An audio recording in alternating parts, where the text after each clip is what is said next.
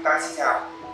Ờ, Tôi xin giới thiệu tôi là bác sĩ Tuệ làm việc ở phòng khám Nha khoa Sota Hôm nay xin chia sẻ với các bạn là một số cái biến chứng thường gặp khi nhổ răng số 8 Nha khoa Jota Răng của bạn như răng của chúng tôi. thì uh, thông thường là những biến chứng này cũng không phải là hay gặp nhưng mà là cũng thỉnh thoảng cũng gặp cho nên là tôi là muốn chia sẻ để các bạn là cũng có những cái hiểu thêm về biến chứng. Là khi ở răng số 8 để các bạn yên tâm. Và để muốn phòng ngừa tốt cái này thì cái việc là tư vấn này, rồi tuân thủ các quy định đặt khám này, tuân thủ các kỹ thuật nhổ này, tuân thủ tất cả mọi cái biện pháp là chăm sóc đặc biệt sau khi nhổ. Thì là những biến chứng này sẽ rất nhiều thì qua sơ bộ chúng tôi là sơ bộ là thống kê. Những biến chứng có thể hay gặp là có bảy biến chứng. Một là chảy máu. Thì chảy máu thì thông thường là một số bạn, số bệnh nhân là bị bệnh máu đông chảy. Hai nữa là ở tại chỗ bị tiêm nhiễm thì để phòng ngừa cái này rất đơn giản là cái, một là cái khai thác, xem là cái máu đông chảy hai nữa là gửi trực tiếp. Ba nữa là hỏi xem là những sinh hoạt.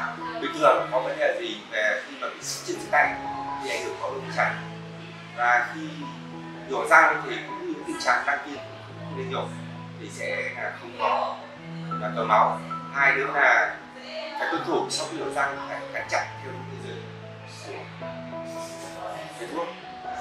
Từ chữ hai là cũng có thể đọc là sốc phản vệ tức là cái sốc khi tiêm thuốc tê thực sự là cái sốc phản vệ này nó không phải riêng của nha khoa đâu vậy chung của các ngành ngoại khoa, kể cả nội khoa mà khi sử dụng thuốc tê để trong những cái thủ thuật cũng có thể gây sốc phản vệ.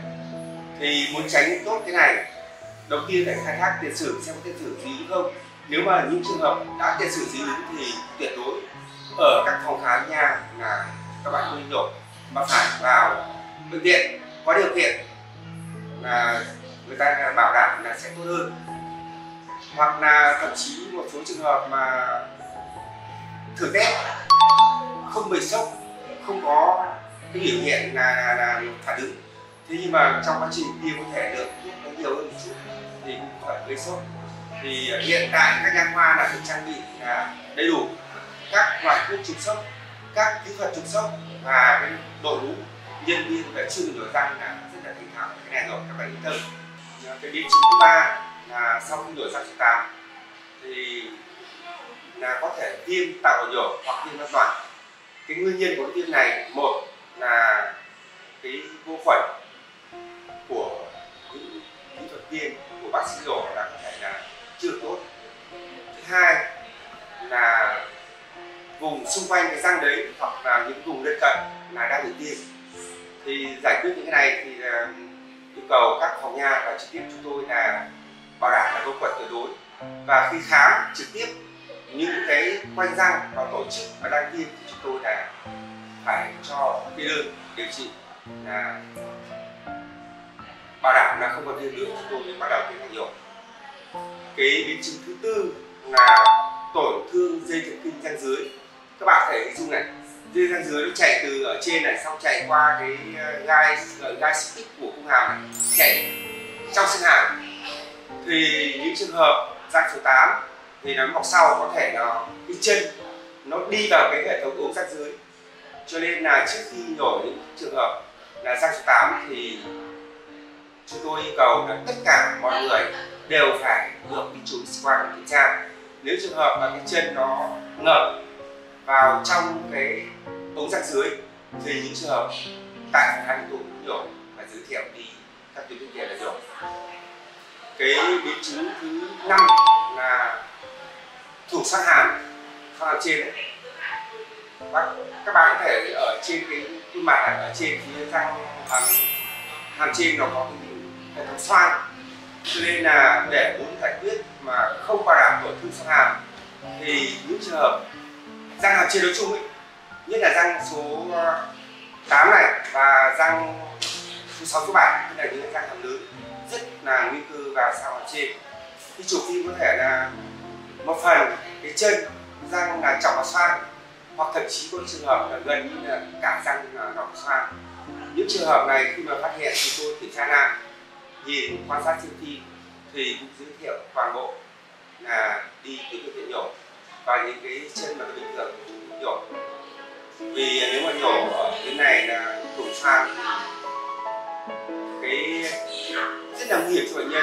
Và cái điều kiện là chăm sóc, khi mà bệnh nhân bị thủng phan cũng là tiệm các phòng khám cũng khó khăn. Cái vị trí thứ sáu là sót chân. Thì để phòng ngừa cái tình trạng là sót chân sau khi răng thì trước nhổ răng yêu cầu bệnh nhân phải đi chụp phim, xác định số lượng chân này, xác định cái dạng chân này. Để khi mà chúng ta nhổ ra thì có tính cái số chân đấy được, nó chính xác. Và những trường hợp mà khi nhổ mà nó chuyên tâm là hết chân chưa thì sau nhổ cho bệnh nhân đi kiểm tra lại sức khỏe để chúng ta phải có bước xử lý tiếp theo.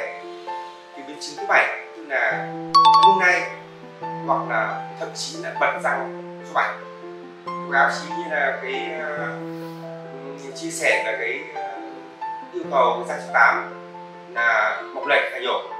Thì nếu mà kỹ thuật mọc lệch tức là khi mà kỹ thuật là không tốt thì các bạn có thể dùng là bảy cái răng số 8 lên. Nếu không cẩn thận thì bật răng số 7 nhất là những trường hợp răng số 7 đã như này rồi.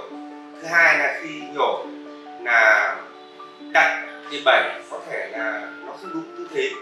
Thì khi bảy là tỷ lệ là răng số bảy hoặc là thậm chí là chưa bẩn cho nên là cái kỹ thuật là sử dụng bảy để lấy cái răng số 8 ra rất là quan trọng. Nếu mà chia bẩn hoặc là bảy không đúng hướng thì là cũng ảnh hưởng đến cái răng số 7 à, vừa rồi tôi chia sẻ với các bạn là bảy biến chứng là thường gặp khi ở răng số 8 nếu bạn thấy hay các bạn like xe và đăng ký kênh để